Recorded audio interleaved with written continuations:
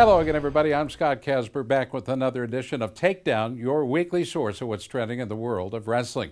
More than 15,000 fans tripped the turnstiles of Value City Arena to watch the third ranked Buckeyes face the undefeated and number one ranked Nittany Lions. That, of course, took place on Friday. In a duel that featured 17 ranked wrestlers, Penn State opened up an early lead at 125, where true freshman Nick Suriano picked up six takedowns and tacked on two and a half minutes of riding time for 19-4 tech over Jose Rodriguez.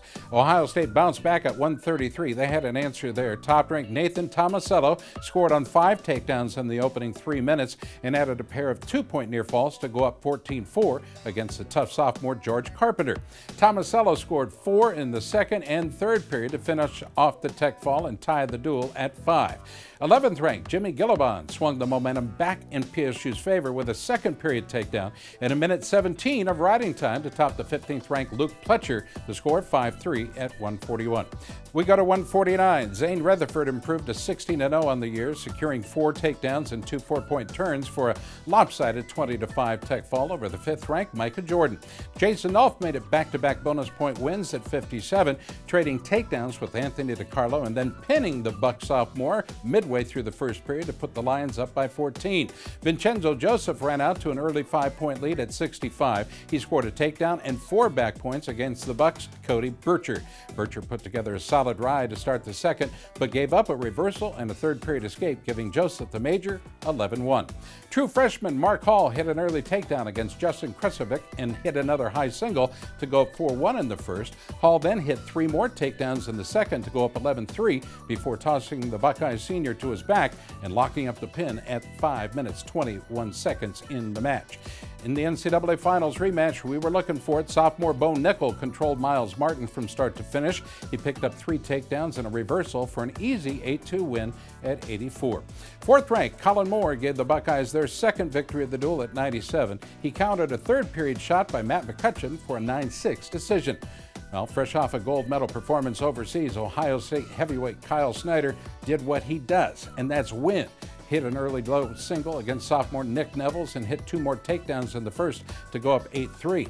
Nevels chose to start down to start the second and escape to make it 8 4, but Snyder would connect on four more takedowns, adding two and a half minutes of riding time on his way to the major decision. In the end, the Buckeyes won the battle, but the Lions won the war 32 12, the final from Columbus you know, we definitely have room to improve, and that's that's exciting. I mean, that will never change whether you're, you know, returning national champ like Zain or a true freshman, like we have two in the lineup. We're, uh, we're getting ready for Illinois now. They're Friday, um, a week from today, so just keeps rolling, right? I mean, the, this wasn't the national championship by any means. I mean, dual meets are always important. Uh, obviously, there, what they say, there are 15,000, 15,000 plus people out there. Um, you know, just getting bigger and bigger. There weren't such thing as uh, 15,000 uh, dual meet records 10 years ago or 15 years ago, right? I mean, this is, uh, you know, wrestling's doing great being live on the Big Ten Network. Um, great match. They have, you know, an incredible team and a lot of talent. And, you know, we've got a great team, so um, it's good stuff. Our look back at a very busy weekend of collegiate wrestling continues. You're watching Takedown thanks to Casey's General Stores. Casey's famous for pizza.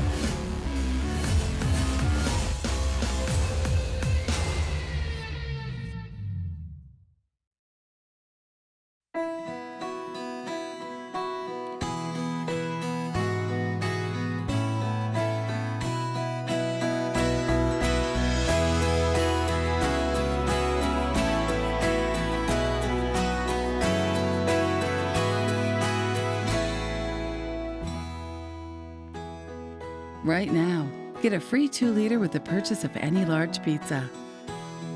Casey's, famous for pizza.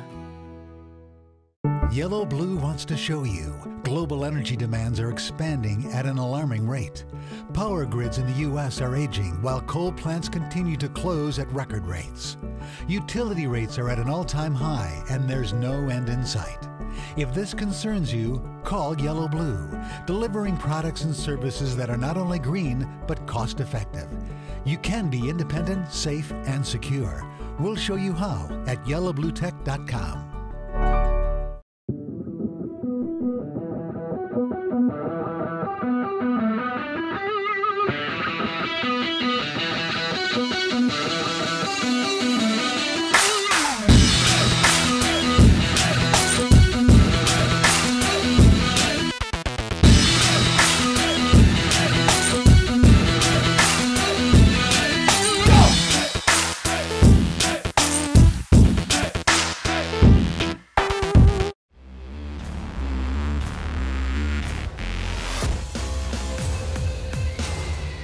From time to time, Chris Bono has been known to pull a rabbit out of his hat.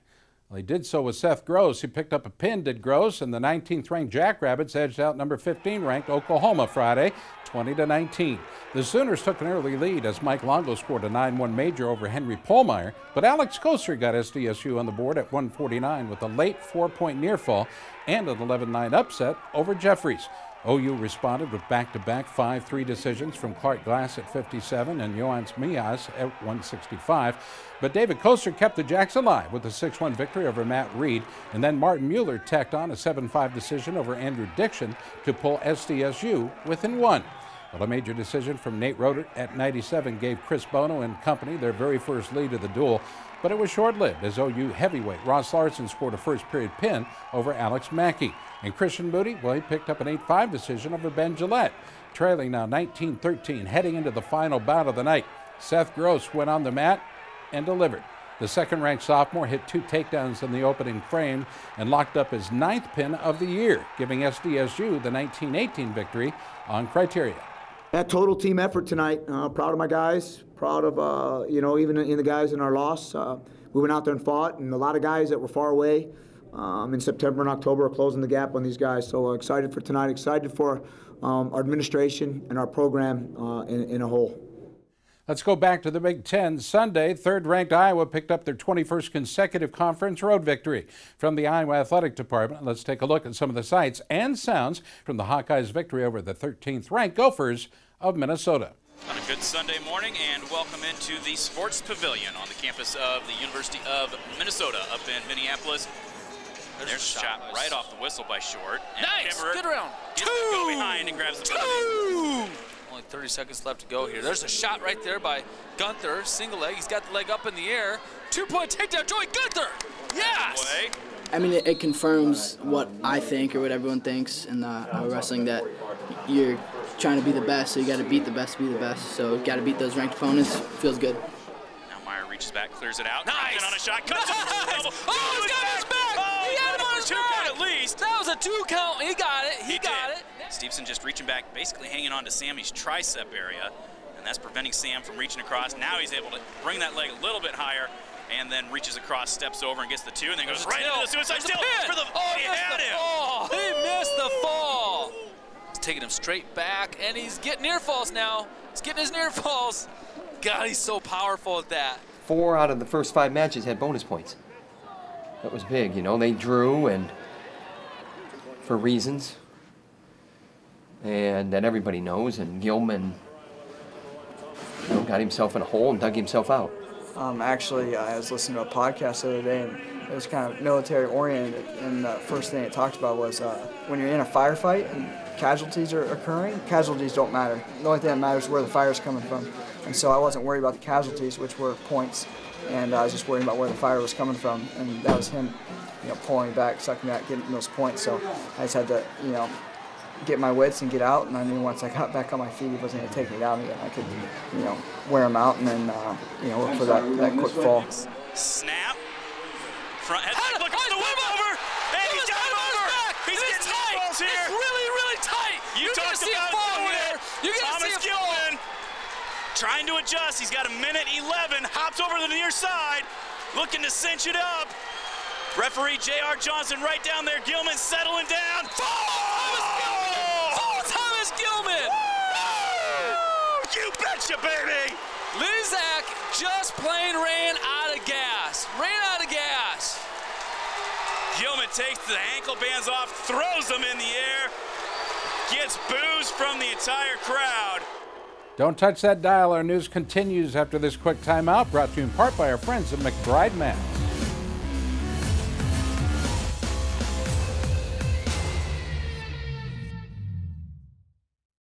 Wow, 40 years. Time really flies. Don't seem like it's been that long. It seemed like only yesterday that I started out route delivering it to the stores. For over 40 years, we're really proud to keep the same quality ingredients and not change our recipe. Help us celebrate our 40th anniversary by joining into our cookies recipe contest with a chance to win a Traeger Bronson 20 smoker. You can enter it on our Facebook page or cookiesbbq.com. Thanks for 40 years, and we'll see you in another 40 years.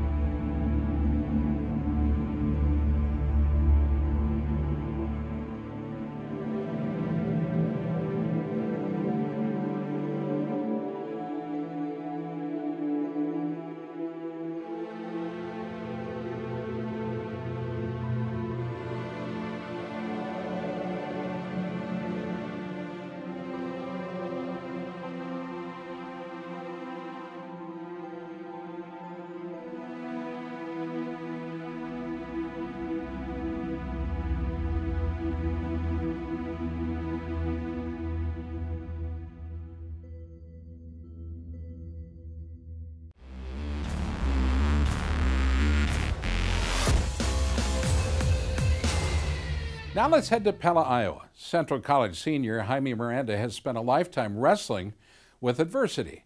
Along with his sister Alexis, Miranda slept in bus stations and garages while their mother Ramona watched over them in a very rough section of Aberdeen, Washington. From NBC Nightly News, here's Harry Smith with this week's edition of Inspiring America From Homeless to College Heavyweight. Jaime Miranda is a college wrestler. Few sports are more demanding, and none are less glamorous. Left on your own, then we pick the pace up. He's a senior at Central College in Pella, Iowa, my alma mater. Coach Eric Van Clay. I think the biggest thing with Jaime was a kid that everything in life had been an uphill challenge who just needed a break. When Jaime was little, his father walked out on him, his mom, and his sister in Washington State, where his mother struggled to provide. Sometimes we would have a car and we would uh, camp out in that for a while. You're homeless? Yeah. In high school, sports kept him off the streets. Soon, though, he learned his mother was dying of cancer. I a great mother as like a hero and a protector. Jaime arrived on campus with a hot head and a huge chip on his shoulder. I have some garbage cans that got their asses kicked because of Jaime Miranda. Jaime also learned B's in high school mean little in college. How hard has college been? Tremendously hard. Every semester I think about leaving. I've always told him point blank, quitting is just not an option for you. Um, I'm never going to give up on you. Central College is never going to give up on you, nor can you give up on yourself. Jaime sought and got help from professors. His teammates and even their parents embraced him too. Jaime is the biggest success story of my entire life. Snap him down, down, down. Jaime means a hundred times more to me than winning a national title. He's a co-captain of the team this year, and when he graduates in the spring, he wants to work with kids like him. My message is going to be that there's like a way out, and that you're not, your life isn't determined by your circumstances. And Jaime has learned it helps if you have a whole school cheering for you.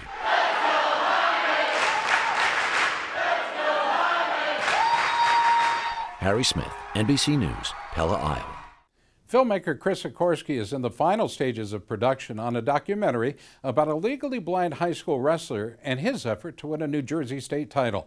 Needing an additional $40,000 to finish the project, Sikorsky turned to crowdfunding, and the wrestling community responded, pledging more than $58,000 to the film titled A Shot in the Dark. Wrestling to me is the hardest sport. Honestly, it's the toughest thing I ever did in my life. I think wrestlers are the Marine Corps of all high school or college sports. I think it's the, the greatest sport. If a basketball game gets really, really heated, they might push each other. That's where we start. I can imagine doing it with with a handicap or a disability, or you know, in Anthony's instance, you know, being blind. Kids never expected it because they were wrestling a blind kid. They thought it'd be like a joke and I got a phone call. We will not be able to accommodate him academically or environmentally. When the new guy became principal, he unaccepted Anthony after he already been accepted. Not going somewhere we're not wanted. So he's been dealing with that, the haters of the world, because of the way that he has to wrestle. Stop, stop, stop. I hate this school so much. I can't go here because I'm not 100% perfect. I can't call stealing on your kid is what you're telling me? He's got a disability and it's not fair. I think we have an obligation to treat him as we would any other wrestler. I know it hurts, I've been there. Anthony doesn't really try to hide his blindness. He wants to be independent. He wants to be like any other kid. Inbound! On the left! That's two! That's two! That's two! There's no more, I'm not losing to a blind kid. It's, it, that's not the subject anymore. You are a great wrestler, man. I've been the recipient of a lot of kids upsetting people, and I've also been the recipient of kids getting knocked off. We all got a lottery ticket. My goals for my senior year are to get over 123 wins, to win districts, win regions, and win states. I don't even want to lose a high school match again. Air wrestle, 10 seconds! No doubt in my mind he's got it in him. Right to his back! Right to his back! I plan on being the first blind state champion. If all goes well, Anthony should accomplish that goal. I really don't see why he wouldn't.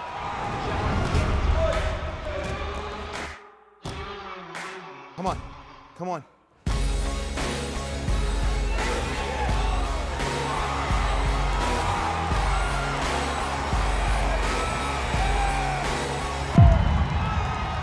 Anthony! 13 seconds! And 13 seconds!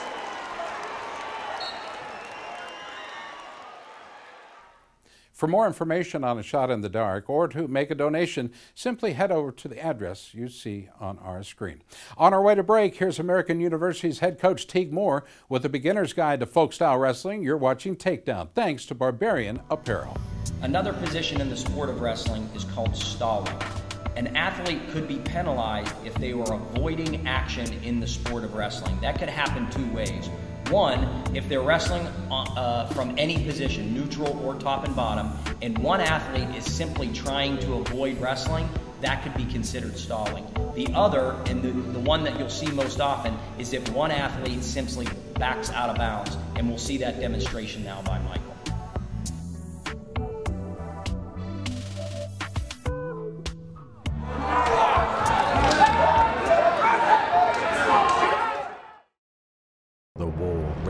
Generations. No amount of bravery and conviction could end the infected, unyielding rage. And with every battle, the evil grew, changed, evolved. The warriors needed nothing short of a miracle to stop the infection, and a miracle they received. Your body is at war against skin infections and diseases each time you step onto the mat. Protect yourself against the invasion. Defend so defend what you have built.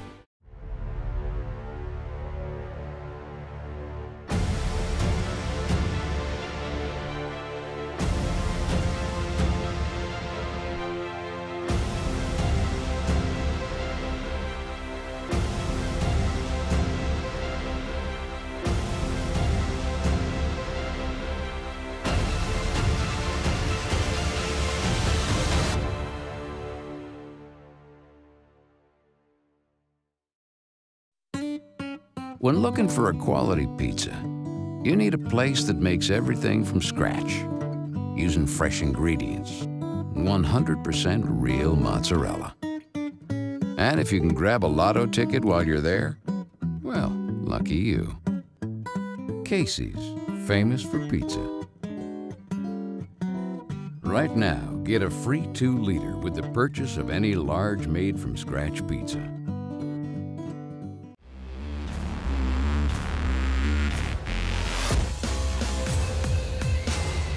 All right, welcome back to Takedown. Our coverage continues in Raleigh, North Carolina, home of the Wolfpack Regional Training Center, and the next great American heavyweight, Nick Gwiazdowski. He joins us now. Nick, welcome back. How are you?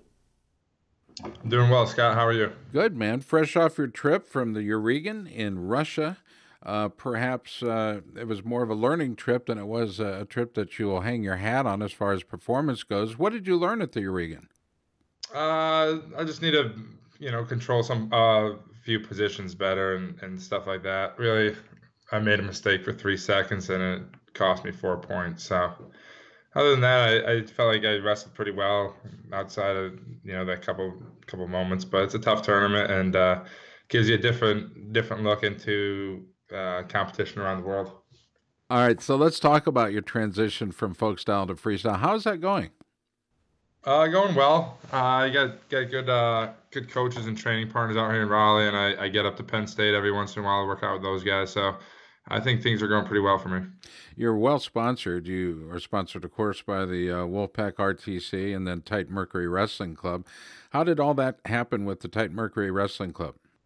Uh, Titan Mercury, they've been they've been uh, real real generous to our club. They they've taken on everyone in our Wolfpack RTC is now Titan Mercury, and I was kind of the last one to to join. But uh, very happy to be with them and the support they give us. So, so if I asked you what your next tournament uh, is, given the most recent uh, happenings, what can you identify what that is?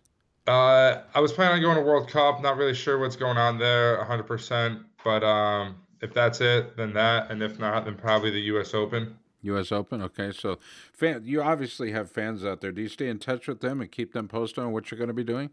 Uh, I try to. I try to try to get word out to my my Twitter followers or Facebook. Um, I want your view of one of the greats, uh, collegiately and internationally, Royce Alger, as a competitor. Uh, so competitive, very emotional. What is he like as a cornerman and, and as a coach? And specifically, what was he like for you at the World Clubs Cup? Uh, he was he was good. That was the first time, uh, maybe the second time I met him. Uh, spent a lot of time with him, learned some things from him, but uh, really gives good insight as to from his experience as both a competitor and translating that over to being a coach. And uh, I took a liking to him. I, he helped stay in touch. What did he? Uh, what, what what what were the types of things he was saying to you either prior to or during a match? Uh, just just really like just you know things that I would ask for in terms of you know what's what's going on in the match. Sometimes you lose track of some of those things, or just had, had a good feeling of what what to what to call out and what was going on from his point of view. That that helped me in the matches. So appreciate that. And of course, uh, you had Wayne Boyd there. You had uh, uh, the, the leader of the Titan Mercury Wrestling Club as well. Uh, it's kind of neat to see a whole team travel together, especially to to take on the world and then win the World Clubs Cup. How uh, how gratifying was that for you? That was uh, that was pretty gratifying trip. Not just winning, but the way Titan Mercury does things and bringing the whole team and really uh, traveling as a unit and as a family and taking care of everyone along the way. It was uh, it was fun and really gracious for the opportunity to do that. So I do want to talk to you about uh, training partners and things like that. But first, I, I, I, want first of all congratulate you. You had a winning streak uh, of 26 consecutive months, 88 straight victories, and it was and the loss that you you experienced at New York was was uh, close a close loss indeed. Uh, you lost to a guy named Kyle Snyder. What's your relationship with him today? Um, he's a fellow Team USA member, and uh, we were just over in Russia. And usually, when we're on these trips at training camps, we're training together and learning. So, uh, no, nothing, nothing bad there. I think it's a it's competition, and uh, you know, you, you learn when you lose, and you you got to get ready for big opponents like that, and you learn from them. We're talking with Nick Gwiazdowski, the former NC State senior, now graduated. What was your degree in, Nick? Parks, Recreation, Tourism. Parks and recreation and tourism. What does that qualify you to do? Uh, a lot of different things, Scott. I don't have enough time to get into all of them. Really, really diverse and uh, really good program here at NC State. Let's talk about your style and and uh, in particular freestyle. What do you feel you need to improve on at this point? Uh, there's a couple couple small things in terms of uh, just just freestyle things and staying out of a couple positions where I'm not too good at and improving in those positions and, and still body position and keeping pressure and stuff like that. Nick Gwiazdowski has been our guest. Nick, what do you want to tell your fans out there? We don't get a chance to speak often enough, but what would you like to tell them? Uh, just just thanks for the support and, and keep following. Hopefully there'll be uh, be some more victories and tournament championships in the uh, in the upcoming future. Nick, it's been a pleasure talking with you in the Nike Hot Seat today. We hope you had a good time. I know that interviews are not necessarily your most favorite thing to do, but uh, it's always good to catch up. Best to everybody, Coach Pop, Coach Beasley, and, and the balance at NC State. Thank you, Scott. Have a good one. Special thanks this week to our friends at Track Wrestling, Harry Smith, NBC Nightly News, and the entire staff there, the Big Ten Network as well. Be sure to follow us on social media and look for all the breaking wrestling news as it happens, plus the interviews, articles, dual previews, and a lot more, all at takedownwrestle.com. From our studios in Des Moines, Iowa, I'm Scott Casper. We'll see you next week right here on Takedown.